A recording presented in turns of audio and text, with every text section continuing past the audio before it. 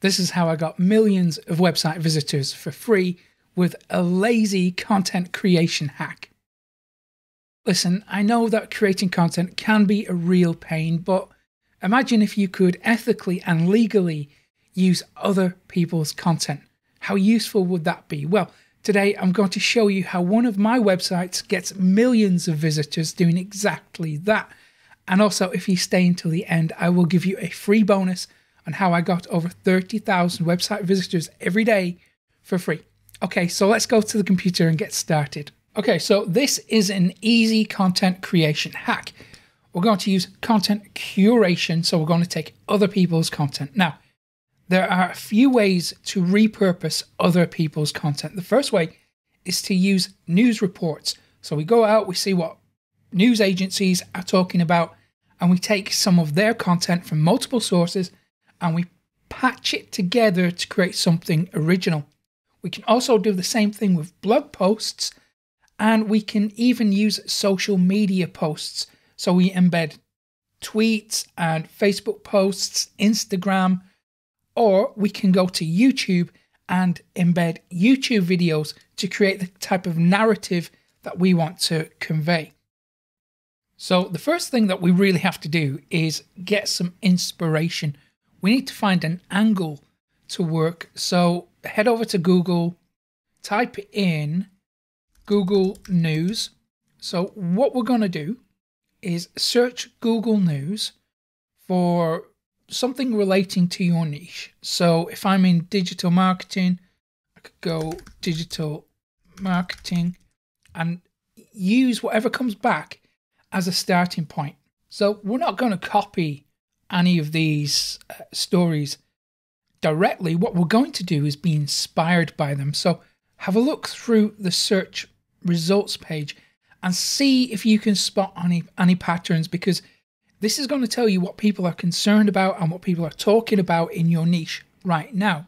So we can see that trends seems to be of interest in the digital marketing industry at the moment because we've got a few, so maybe three four, maybe uh, posts or, or news uh, news eh, news articles, excuse me, about uh, digital marketing trends.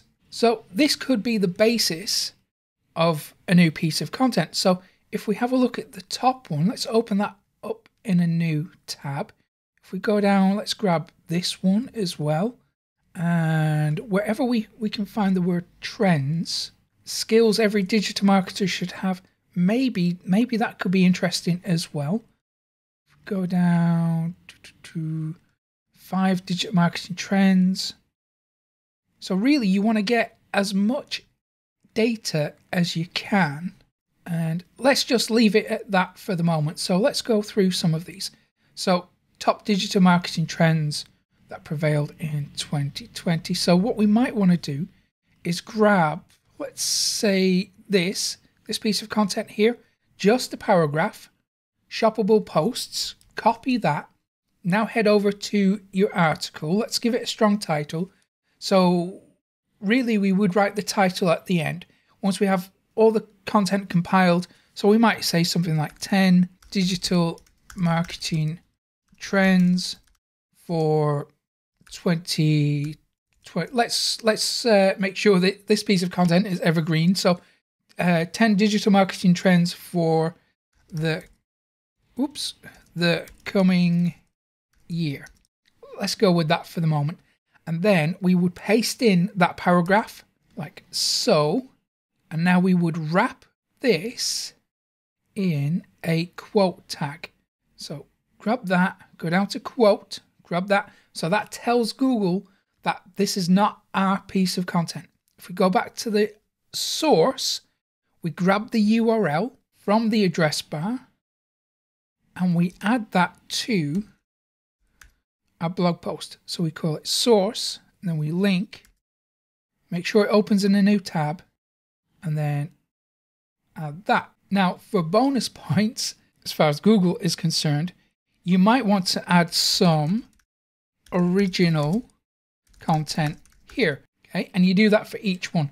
So let's go through the next article. So we might want to take that piece of content. So again, just a paragraph. And we paste it in. Wrap it in quotes like that.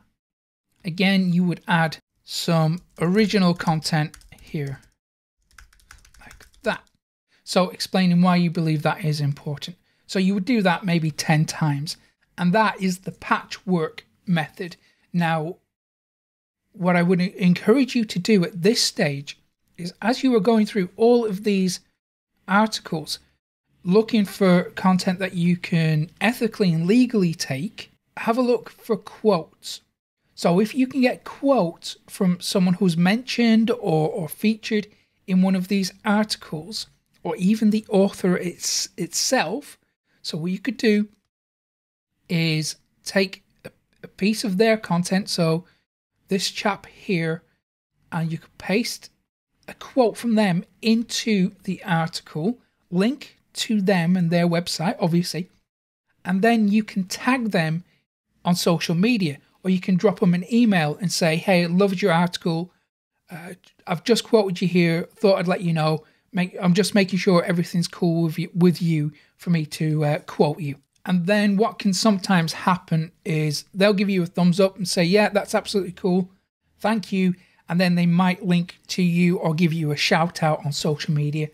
Either way, you've started a conversation with someone else in your industry, someone that presumably has a following, and relationships are really what, what's going to give you that shortcut to success it's really about building relationships with people. Now, me as an introvert, I have issues with that. I, I, I really struggle with outreach and that kind of stuff. So I know from hands on experience, you can achieve enormous levels of success without doing any kind of outreach. But you know it's going to happen for you faster if you uh, if you implement this type of strategy. So that's using news articles we can also do, do the same thing here with blog posts.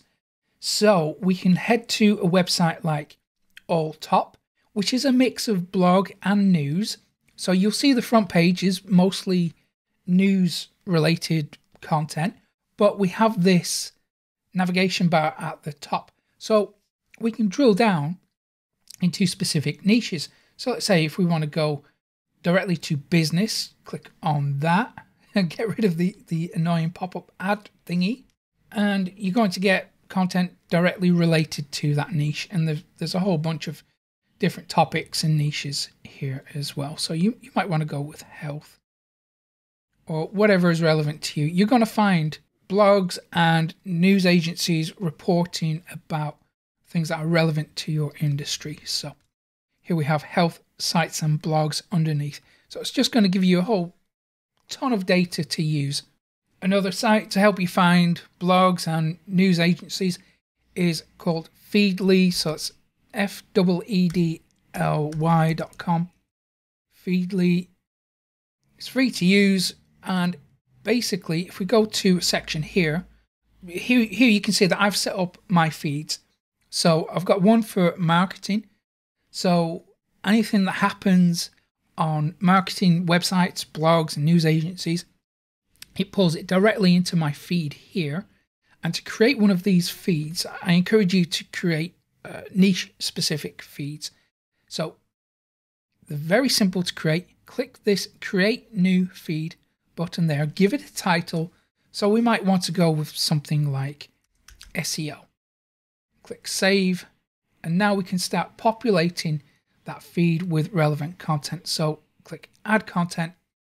We can search by topic, website, or, or SS link. So let's say we want to go with search. Oh, let's let's go something a little bit more specific. Let's go with Google, and we'll find all types of content that relate to Google. So the official Google blog. Click follow, and then we can add that to the feed there. So now anytime Google publishes on their official blog, we'll be notified in our feed. And then you would just go through and add as many of these sources as you like. So let me show you how to do the same thing with social media. So if we head over to Twitter, if we can see uh, some tweets that we want to embed, here we have this kebab menu icon thingy. If you click that, you're going to have, where is it? It's embed tweet. Click on that. It will give you code to copy. Copy that. Now you can go to your article and you can paste in. Let's give ourselves some space. Now we can paste in that code. So if we add a custom custom HTML block, let me find it for you. So where is it? We can go code. Is it code or HTML? I think it's HTML. Custom HTML. Paste that in there and you should be good to go. However, WordPress has a really nice feature where you can just paste in the URL of your tweet and it will, it will automatically do all this for you. And if we have a look at the preview of this, there we can see we've got the uh, the curated content here from news websites, and there we have the social media embed there. Now we can do the same thing with Instagram. If we go to Instagram, you've got these kebab icons here, the menu thing. If you click on that, you can go to embed, copy embed code, and now go back to your article and well, let's add it directly in here so we don't have to mess around with creating another block. So there you go. It's going to paste in a whole bunch of code and then we can preview that and there it's worked. And it's also pulled in comments and uh, a bunch of other copy for us as well. Okay, let me show you how to do the same thing with YouTube. So we obviously search for something relevant, but we have this, this filter menu, if you click that, because we want to show something that is of enormous value to our audience, so we only want to choose videos that we know are going to be good. So we can choose the upload date. I would say let's go with maybe this year, so or this month. I'd go with one of those because that gives the videos enough time to get some traction and really it's going to allow you to pick the best ones available. So let's go with this month. Let's add that. Then we can add sort by relevance. Maybe, maybe you could go either rating or view count. So if you go view count, you're getting videos that are no more than a month old and have lots of views. So now you could you could just choose this one maybe. Again with WordPress, we can just paste in the URL and it's going to automatically pull in the video for you. But if you're not using WordPress, then you have this share button. Click that, go to embed. It's going to create an iframe code for you. You can play around with some of the options there. I'd just leave them as default and then copy that and we would paste in that custom HTML code. Or you would just paste in the URL. Let me show you that. And there you can see it's pulled in both. And you can apply these different strategies that I've given you today to a single piece of content. So you can have a piece of content that that brings in tweets, that brings in YouTube videos, news articles, or blog posts. So when you do that on a consistent basis, who knows what kind of amazing results you can get. Like Matt, he's making millions of dollars online for himself and for his family, thanks to my training. And if you want to know the secret and you really are serious about making money on the internet, then you're going to need more web traffic. So I will give you the secret traffic methods I never share anywhere else for free when you go to profitcopilot.com slash traffic and I'll put a link to that in the description too. And if you found today's tutorial useful, give it a thumbs up below, subscribe to the channel to hit that little notification bell so you never miss an update from me. And I will hopefully see you again in a couple of days' time. Take care.